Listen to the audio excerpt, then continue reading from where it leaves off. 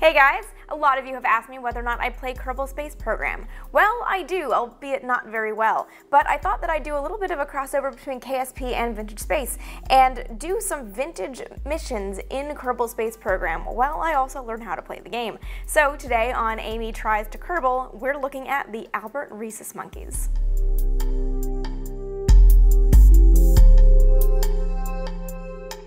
Alright, for those of you guys who don't know Kerbal Space Program, it is a computer game where you build and design your own rockets and spacecraft and fly them on missions through a solar system that is like our own, but not quite our own. But we're not going off the Earth, which in this case is Kerbin. We're not leaving Kerbin today, because we're talking about the Albert Rhesus Monkey launches, which only involved V2 rockets. So I'm going to give you a little bit of a history of the rocket while we build one.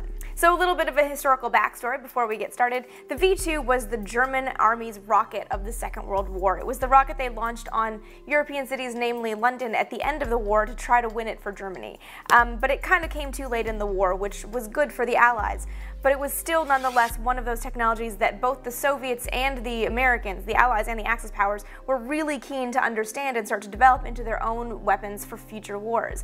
Wernher von Braun knew that he, he wanted to build rockets for spaceflight eventually, um, and wanted to surrender to the United States as opposed to the Soviet Union because the US had the best chance for him actually building the rockets as opposed to using them as weapons. Um, so he hid tons and tons of documents in the Harz Mountains. He escaped Nazi Germany, surrendered to the to the to the American army, recovered all those documents from the Harz Mountains, and everything was transferred over to the White Sands Proving Ground in New Mexico in 1946. And I will say that is the ultimate short form of the story. There's a lot more to it. But when these V2 parts arrived in hundreds of train cars in, in the New Mexico desert, um, only two full V2s could be made. The rest had to be sort of um, understood by the American engineers and then rebuilt and, and refurbished.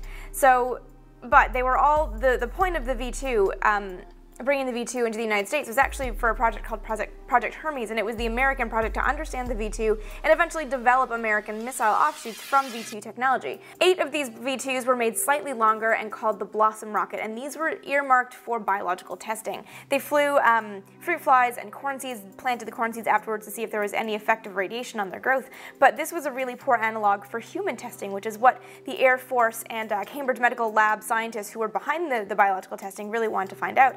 So they eventually progressed to uh, rhesus monkeys, um, and these were the Albert monkeys. So let's build our spacecraft here. We're going to start with just the simple uh, one one-man pod because we only had one Albert monkey in there.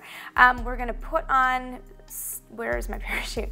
Uh, parachute so that it comes down safely. We're going to use a decoupler because we don't need the entire rocket to come down because the Blossoms were actually among the first V2s where only the pod or the, the sort of capsule would come down as opposed to the whole rocket.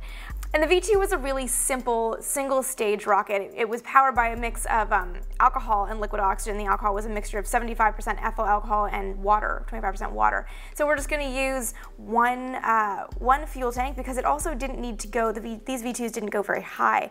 Um, the thrust of the V2 was about 55,000 pounds at launch, um, which increased to about 160,000 pounds of thrust at maximum speed. And these things only ever got to a, a roughly, without sort of additions, um, about 60 miles. So we don't need to go very high either. So we're just going to do the medium-sized fuel tank.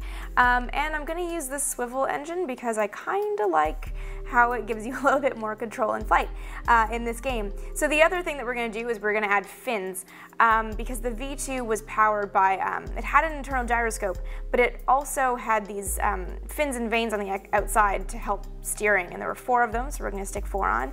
And just a little side note, um, uh, Jim Lovell at an Apollo 13 anniversary event I went to a few months ago mentioned that uh, fins were Wernher von Braun's trademark. So here, here's our little V2 stand-in. Obviously the V2 didn't quite look like this, but you know what, we're gonna go with it. All right, so here is our Albert rocket sitting on the launch pad, and we're actually gonna try to shoot uh, slightly north um, for this launch because the, the White Sands Proving Ground now White Sands Missile Range, is of course landlocked in New Mexico. Uh, these rockets were not landing in the ocean, so I'll show you the, um, for those of you again unfamiliar with the game, um, this is our launch point. So we're right on the coast, just like Florida.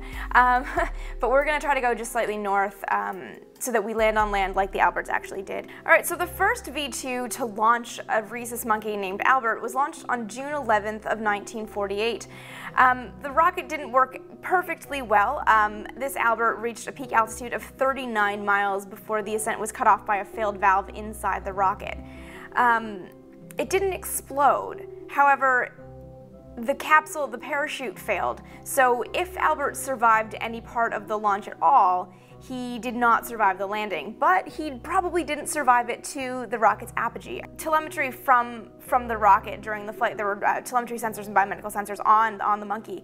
Um, said that he probably succumbed to breathing problems inside the cramped cabin before launch, um, and likely died before he hit the ground, which was good because he would have hit the ground with a frightening amount of power. The second, the second Albert monkey to launch was also named Albert. It was named for the same monkey. Uh, this launched on June 14th of 1949, and he did slightly better. Uh, Albert 2 did slightly better than Albert 1 um, but not, not really by much. He did survive launch and he reached an apogee of 83 miles but didn't survive the landing. Like Albert 1's flight, uh, Albert II's parachute failed, so he hit the desert floor full force with nothing to slow him down.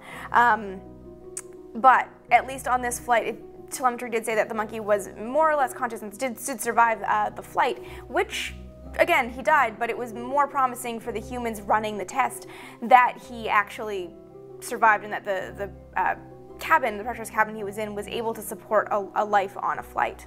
Uh, the third, the third Albert was uh, launched on September 16th of 1949, and he was unfortunately killed almost instantly after a flight, or after launch rather. Um, this V-2 missile, number 32, if you're keeping score, uh, suffered a tail explosion 10.7 seconds after liftoff, and the rocket was destroyed just three miles above the launch pad, and of course that took Albert with it. And the last Albert, Albert 4, was launched on uh, December 8th of 1949 to a peak altitude of 79 miles. Um, sensors said that the biomedical data was good throughout the flight, but the monkey was again killed when the parachute failed um, during, during landing. He hit the desert floor again without anything to sort of slow down the launch. And I should just say, I'm not paying attention to what my actual apogee is.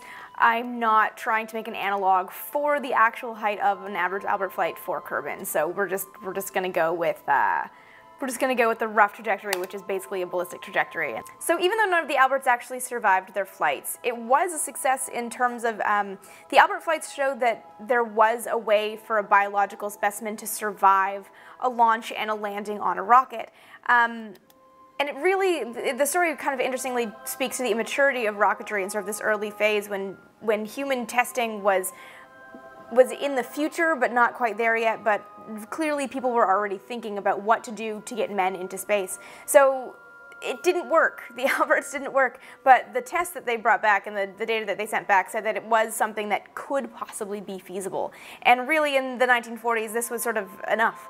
Um, if they had all, you know, succumbed to radiation poisoning or something, this would have been very different. But surviving, surviving the launches and surviving the flights, but succumbing to technical issues meant that the, the hurdles were technical, not, not biological, biomedical. So um, as we know, this was sort of one of the first one of the first instances of really looking into what might happen uh, for a man going into space. All right, so we survived on land like the Alberts, and let's see if I can get him off. All right, I don't know if I can make Jeb wave exactly, but I hope you guys enjoyed my foray into Kerbal Space Program. Leave your questions and comments about the Albert monkeys or early biomedical testing in the comment section below, and I will answer as many as I can. Um, for daily Vintage Space updates, be sure to follow me on Twitter at AST Vintage Space, and with episodes going up most Tuesdays and Fridays, and for more videos where I narrate my attempts to play Kerbal with historical uh, missions, definitely subscribe right here so you never miss an episode.